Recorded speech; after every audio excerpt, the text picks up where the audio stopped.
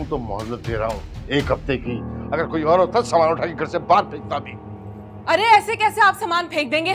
दादा जान की जायदाद पर अब्बू का भी उतना हक है जितना आपका। ये क्या बकवास कर रही हो तुम? अब देख रहे हैं इसकी जबान? ऐसा भी क्या कह दिया मैंने हाँ? सच कड़वा लग रहा है ना? तुम चुप करो इफ्रा। अब्बू मैं आज चुप नहीं रहूँगी। बहुत एहसान जता दिए इन लोगों ने। कभी हमसे पूछा भी है कि हम ज़िंदा हैं अब मर गए कुछ खाया पिया भी है या नहीं? और आज तो ज़बरदस्ती रिश्ता मांगने आ गए। ज़बरदस्ती कोई नहीं है। खून का रिश्ता है मेरा। और तुम कौन होती है बीच में बोलने वाली भाइयों के? मैं बेटी हूँ। अरे बहस क्यों कर रहे हैं इस लड़की के साथ? ये सारी से आफिया की शाय देख नहीं रहे कैसे चिपक के खड़ी है इसके साथ? गलत समझ रही हैं आप भाभी अरे रहने तो रहने दो। मीसनी घुन्नी कहीं की। वैसे बहुत अच्छा तरीका है बड़े भाई को जलील करने का। तुम्हारे एहतराम को सलाम है। अब मैं भी चुप नहीं रहूँगा। अरे चलिए भाई। एक मिनट! कोई मोहब्बत वलत नहीं। आज घर खाली हो जाना चाहिए। भाई नहीं सुन मे, मेरी बात तो सुनने पर। अब्बू अब्बू आप क्यों मिन्नतें कर रहे हैं इनकी? हमें नहीं चाहिए इनकी एहसान और खैरात। आप चले यहाँ। अरे बकवास नहीं करो जाओ तुम अंदर। अरे चलो भाई। अब्बू क्या? ताया अब्बू। मुझे ये रिश्ता मंजूर है।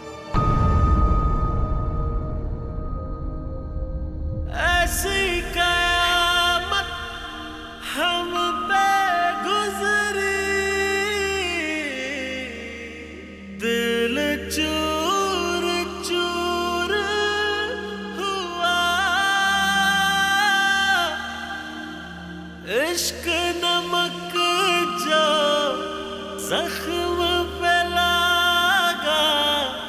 तो ये सरूर देख लिया फैयाज।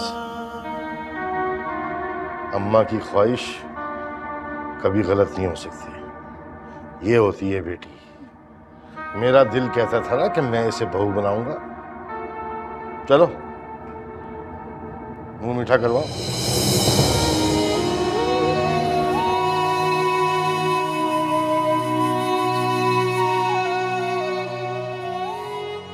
हाँ। बैठो बैठो। भाई बैठो नरगिस। जी।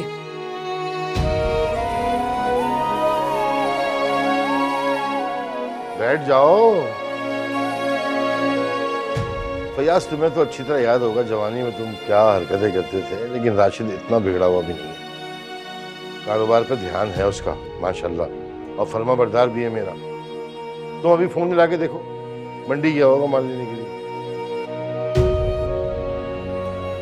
भाई आफिया क्या तारीख रखे फिर?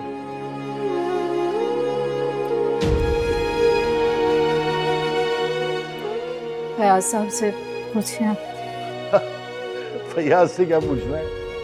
मेरा भाई है जो मैं कहूँगा वो मान लेगा। क्यों भाई?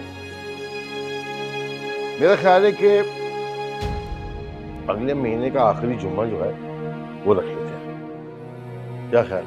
और हाँ तुम लोगों ने कोई काम नहीं करना। कोई तैयारी शादी की कोई जहेज वगैरह कुछ नहीं। सब कुछ मैं करूँगा। ताया हूँ समरा का।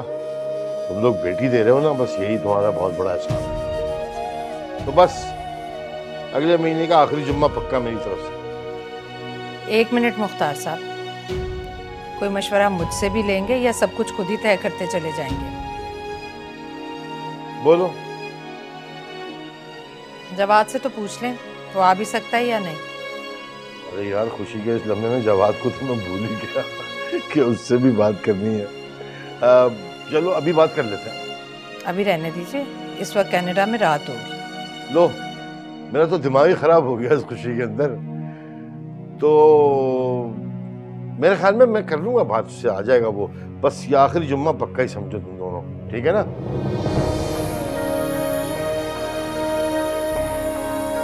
अरे भाई मुँह मीठा करवाओ। क्या कर रहे हो ये लोग तुम?